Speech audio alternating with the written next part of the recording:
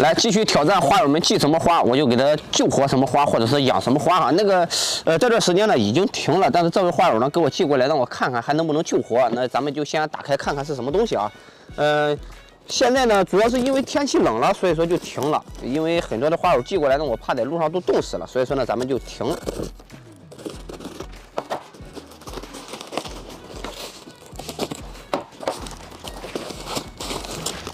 这是啥飞出去了？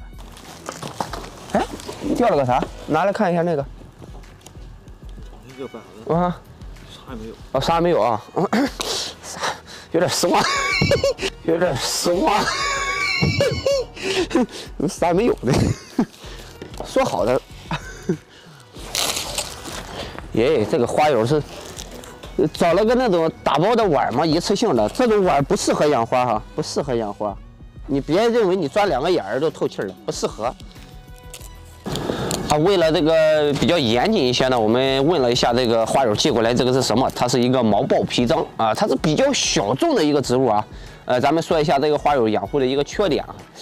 嗯，摸一下杆子，杆子还没什么大问题啊，杆子还很健康。第一个呢，就是用到的这种盆儿。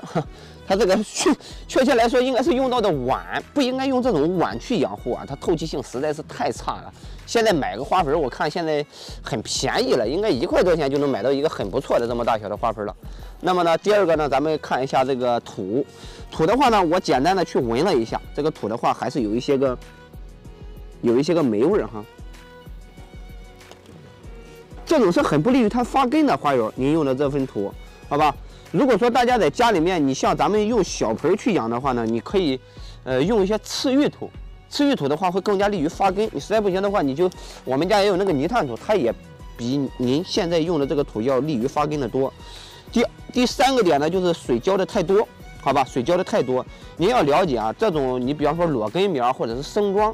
你了了解这么一句话，叫气生根，不是说因为生气才生根，而是说什么呢？要有一定的透气性，它才会生根。呃，保留着护心土来的。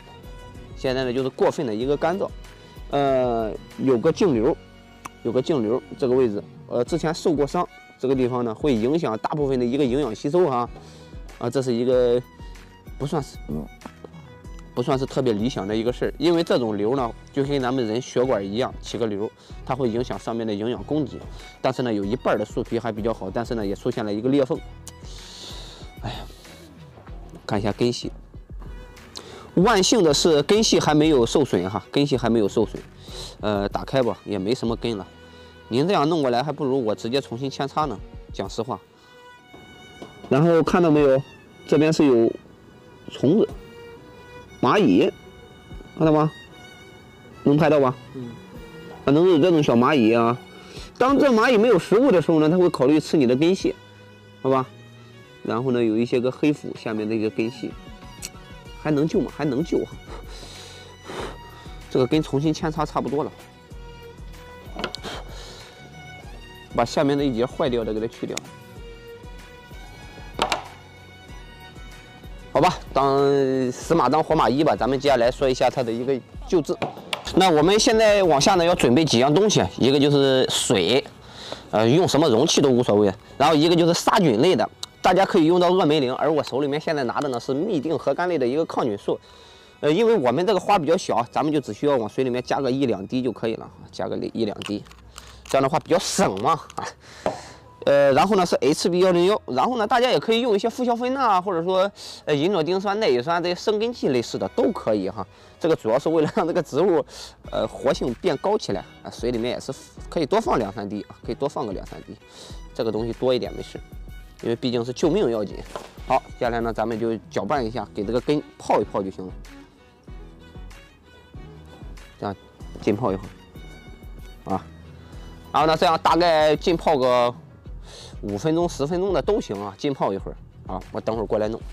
Later。好了，接下来呢，咱们找一个花盆哈，找一个花盆，不要太大，尽量的排水透气要好一些。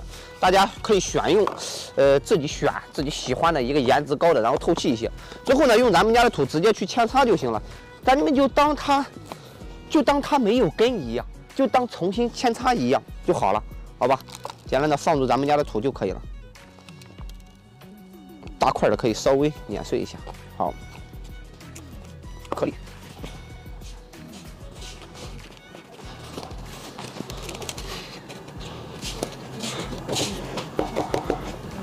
就不要压的特别特别实就行了啊，就是 能让它固定住，不要压的很实了。它本身呢，就是需要一定的透气性才会长根，也不要埋的太深，这样的话不利于它的发根。接下来呢，咱们就正常的当一盆扦插苗去养护就好了。之后呢，剩下的这个溶液有点有点脏了，我再重新兑一点溶液，给它做一做这个杀菌保湿的处理，把幺零幺也兑上。转了一圈一想，不能浪费，剩下的这些个还能用，不能用再说吧。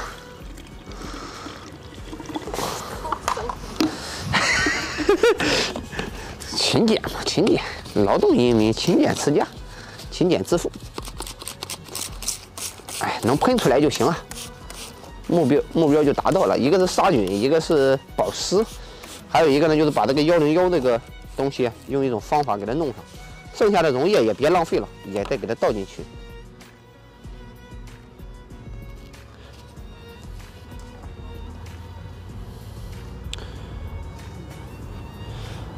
那接下来呢，就是比较艰难的一个过程了，就是要慢慢的去等，好吧？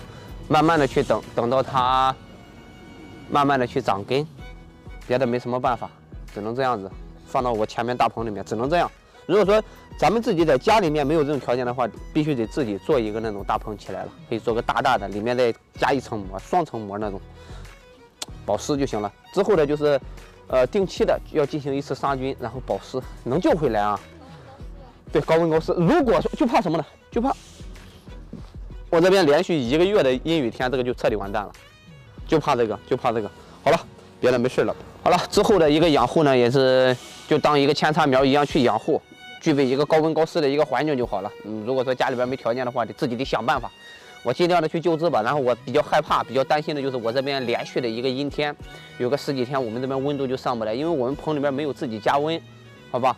我就比较担心这个。总的来说呢，就是尽人事听天命，啊，也希望给这个花友把这份皮章呢给他救回来。嘿嘿，谢谢花友们的一个支持和信任。当然了，如果说这一盆真的救回来以后，也算是一个封神之作了，有点过分。要不说今天呢，我是老花一行，我最近一线人念不见不散拜了。